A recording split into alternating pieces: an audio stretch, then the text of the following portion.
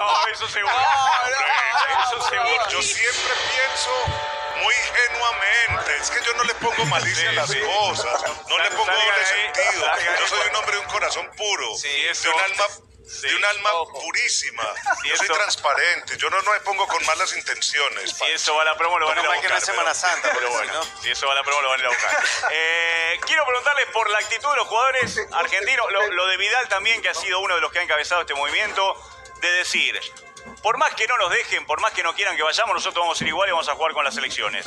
¿Lo ven bien? ¿Le parece bien la actitud que están tomando los jugadores? Restre, ¿cómo, cómo ves esto de, sobre todo que ha nacido con los cuatro jugadores argentinos que están en la Premier? Hablo de Buendía, Lo Celso, Emi Martínez y me está faltando eh, uno más. Y Romero, y Guti Romero. Y Guti Eh, Romero. Romero, Romero. Sí, Romero. Son Romero y los Chelsea de, de Sí. los Sports. A mí me parece eso muy grave. A ver, primero, si ellos van a regresar, tienen que hacer cuarentena porque eso ya es una violación a una ley, a una norma del Estado. A una... sí. O sea, entonces, si, si, si van a hacerse la cuarentena, se van a perder partidos de, de los, qué es de lo sus grave, equipos, de, de los equipos de, de Aston Villa, de los Sports, de, del Norwich, se van a perder toda esta, esta, esta trascendencia y van a quedar por fuera de los eh, de, de- de la escuadra. Y además se van a tener que someter a sanciones. Porque hoy, por ejemplo, le preguntaron a Nuno Espíritu Santo y él dijo. Los jugadores, ya hemos hablado con ellos, todos están eh, tranquilos, todos están acogiendo las normas sanitarias.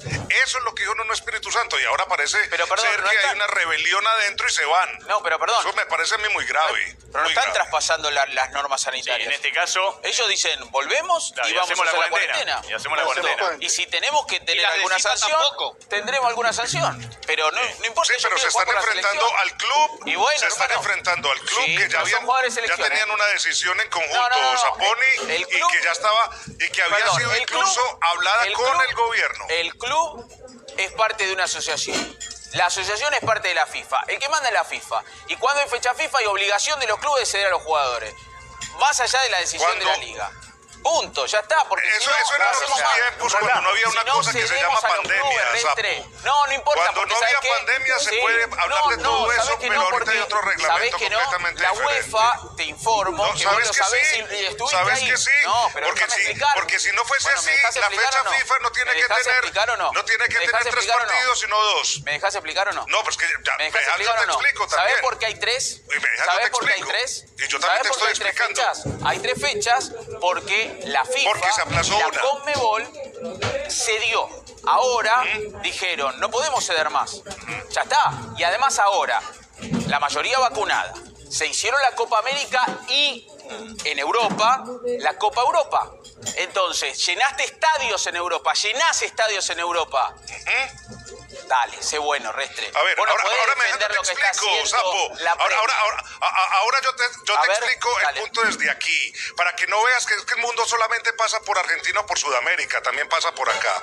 Primero que todo, eso es una norma del gobierno tratando de evitar que entren variantes de otras partes del mundo. Se viene aquí, está la Delta, y en Estados Unidos está la Delta. Aquí no hay la variante brasileña, aquí no hay la variante andina, aquí no hay la variante que viene del norte de África y por eso están haciendo ese sistema de cuarentena con países ¿Y de la lista roja. Ahora, que, ahora, una cosa es lo sanitario y otra cosa es lo deportivo. Si vamos a lo sanitario, pues es la, la norma del gobierno y si ellos quieren llegar aquí a encerrarse en un hotel 10 días a, a sufrir con su estado físico y a, y a salirse de la competencia y a, a- a exponerse a una multa, vaya ellos. Total. Ahora, en lo deportivo, a mí sí me parece que si la FIFA en algún momento decidió organizar una fecha con tres partidos, pues se debió haber sentado con la confederación, esta con las federaciones y estas a su vez con las ligas, ¿eh? porque al fin y al cabo son los que tienen el espectáculo. Pero ellos la pusieron y no, no- y no se preocuparon de nadie más y eso no es así en momentos No, de pero ahora pandemia. se acordaron, ahora se acordó la Premier. Cuando acá- hay a dos la- días. Las dos posturas están eh, bastante quedadas porque eh, como que dejaban pasar el tiempo y dejaban qué pasaba. No, pero la FIFA, claro, pero, perdón, la FIFA informó cuando se cancelaron las fechas Sí, cu- cuál en iban las marzo fechas. de Que cuáles venía eran las siempre fechas. Y ahora se acordó la Premier Sí. y ahora se sumó la, la Liga por con eso. sociedad. Hoy- No, Hoy Tebas- esperaron, hoy Tebas- esperaron a hoy ver si Tebas puso había un algún tuit. tipo de solución. Esperaron y no les dijeron nada. Cuando vieron que llegaba la fecha y no les dijeron nada, pues sacaron la No mano y dijeron, dijeron no, nada. esperen. Sí, ya Al estaba menos aquí en Inglaterra está esto, que es lo de la cuarentena. Y lo dale. otro es la del no, descanso. Restrepo por doble no. Carlitos, sí. Dale, dale, Carlitos. Hoy Tebas, hoy Tebas puso un tuit donde va directo con Y lo que llama la atención es que dice, eh, lo que no podemos entender es que hayan hecho la triple fecha en 10 días, sino en 11. Y él dice que en CONCACAF y en UEFA se va a jugar una triple fecha y que se va a hacer en 10 días. Ese es el pedido de la liga. ese, claro. Exactamente, el día ese con el que van a llegar tarde, porque por ejemplo ese sábado juegan Atlético de Madrid Pero y Barcelona. Carlitos, tiene, viajan para llegar a Argentina, viajan 14 horas. Sí, no, y después hay otro tema. Si, eh, como eh, marcaba Restre, en Inglaterra sobre todo, tienen que cumplir los 10 días de cuarentena, o en Italia, eh, por ejemplo, Arturo Vidal no va a poder jugar contra Real Madrid. O Valverde no va a poder jugar contra el Inter, el debut de Champions. Claro. Y, y ahí hay una complicación, parece que va a trascender lo que puede ser el partido de liga, que a veces, muchas veces, lo sabemos esto, los jugadores que llegan de jugar por sus selecciones, quizás ese fin de semana descansan, pero la siguiente semana ya arranca la Champions. Pero Furla, y pero esto no solo puede pasar ahora, sino también en octubre. compás. Cuidado, eh. Sí, dale, Uno, uno puede entender las posiciones y son válidas, incluso todas, pero también hay que colocar las cosas en contexto. O sea, tenemos lidiando con esta pandemia año y medio, entonces no puedes tener posturas tan inflexibles de decir, te vas y te sanciono. Por eso es que para mí es muy loable ese gesto de compromiso de los jugadores argentinos, de Arturo Vidal y otros que ya se han manifestado. No me importa, Sí, voy con la selección, también. porque es clave. Es clave de cara a la... Si no, no, o sea, ¿qué vamos a pasar? Lo decían ustedes ayer o antes de ayer. Vamos a tener qué, qué tipo de equipos suramericanos, que normalmente son animadores en las Copas del Mundo, van a estar en Qatar. Equipos B, eh, sin rodaje, sin la posibilidad de técnicos de utilizar a los jugadores de mayor nivel. Entonces es un absurdo, siempre los- se rompe la cuerda por el lado más débil. uno de los atractivos más grandes que tiene la FIFA y además esta zona del mundo es la selección brasileña. Hoy Tite ha convocado a nueve jugadores, la mayoría del torneo local. Sí. No sé si cuidándose las espaldas o tomando una decisión. Yo no me imagino a Casemiro no, no, no viajando. Pero queda fuera. Hoy, perdón. Fede, hoy, Herman, eh, los brasileños son los que todavía no se han eh, ni manifestado ni unido Sí. para tomar una postura en común y ver si vienen o no. Sé, de los argentinos, sé de los uruguayos, los, chilenos. Es que todo se Para va mí- estos nueve convocados, Sí. llama la atención. Llama Sí, la atención. eh, Pero como para mí Tite hizo lo que tenía que hacer también, ¿eh? todo se va a reducir a eso, a, a- a si se plantan los jugadores o no. Sí. Yo creo que estamos llegando a ese escenario. Eh, acabo de recibir un mensaje, Juan, Sí.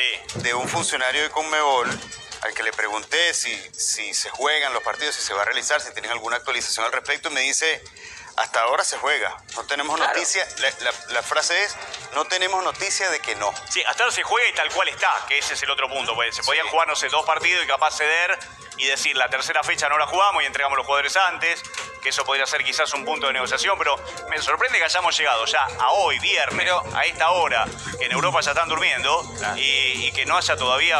Juan, que hay jugadores que viajan mañana. Claro, jugadores que viajan mañana. Exacto. Mañana termina el partido y se van. Y se vienen. sí. Tebas fue al TAS Claro. a pedir por ese día, como dice Carlito. ¿Sabes Exacto. cuánto va a tardar el TAS? Para, la, la fecha es mañana, Sí. el pasado mañana, al, al TAS. Va porque va, ¿entendés? Va para decir, yo hice algo. Le encanta Tebas el está- show a Tebas. Pero claro, Tebas está en el medio de- Pero del estamos, fuego pero estamos, cruzado. estamos tratando, estamos tratando de encontrar excusas y si tratamos de encontrar excusas, créanme, las vamos a encontrar. En el lado de la Premier es el tema de la cuarentena. En el lado de España es un día. Italia se pliega a una, Portugal a otra, Francia dice todo lo contrario. El que quiere buscar Totalmente. excusas para no dejar que vayan sus jugadores, Es- van ah. a encontrar cualquier tipo Los de excusa. no quieren ceder más. Eso, eso es lo que, lo que a mí me hace ruido. Sí. El tema que los sacrificados acá de que más que el ruido son los jugadores. Van a ser perjudicados. Seguramente les va a pasar a algunos no solamente tener que cumplir el tema sanitario, van a perder de jugar, van a perder la titularidad. Hay un riesgo tremendo. ¿Quién responde después por ellos? Sí, habrá que esperar. Ma- mañana. Ellos son los que selección. quieren jugar con la selección. Ellos son selección. los que quieren jugar con la selección. Mañana Está esperemos- muy bien que quieran jugar con su Mañana- selección. ¿Quién mañana, muchachos, esperemos. Mañana esperemos tener alguna novedad más, más en concreto. Mañana de Fútbol Salvación en Sudamérica va a estar bárbaro, porque vamos a tener todo candente, todo lo que va a pasar con con esto, así que mañana los esperamos con, con todo el equipo para hablar de todo lo que va a suceder con esta eliminatoria que está, todavía veremos, no sabemos qué va a pasar. Y mañana, como decía Carlitos Suárez, hay jugadores que tienen que estar viniendo. Me voy a la pausa, se nos pasó volando el programa pausa y ya venimos.